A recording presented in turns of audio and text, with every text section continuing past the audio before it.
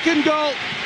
A smile from the new boss as his heir apparent produces a strike which the old master would have been proud of.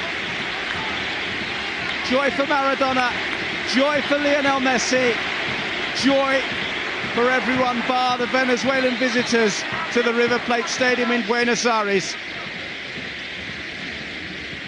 It all came from a wonderful run out of defence on the counter-attack.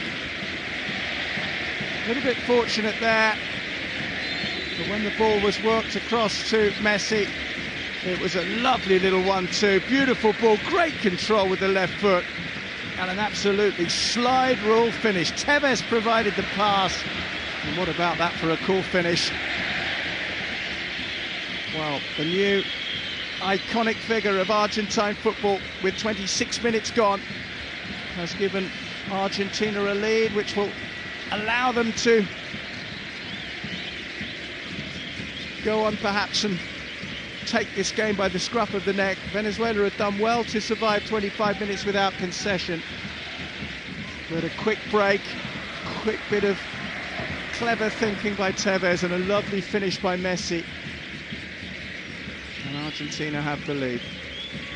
And remember, they could go second in the group if they win this one. Free kick is taken and flicked on behind by a defender.